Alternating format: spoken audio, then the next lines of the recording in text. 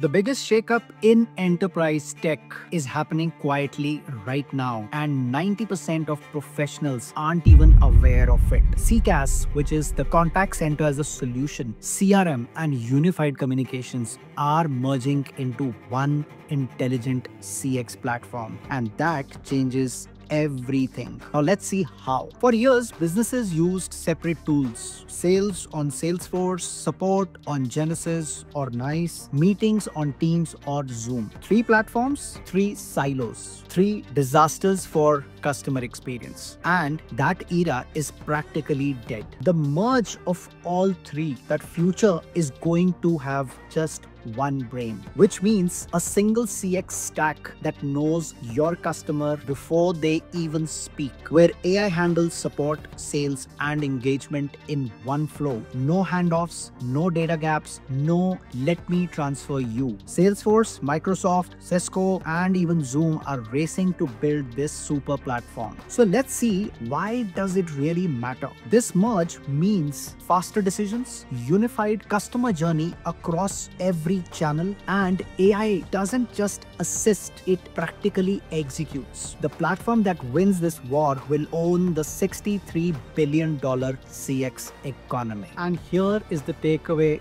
for you. If you're working in sales support, contact centers, AI, SaaS, this is not optional learning anymore. This is your next promotion or even your replacement. Want me to break down the leaders and career opportunities before this fully explodes? Comment CX War and I'll drop in the deep dive next.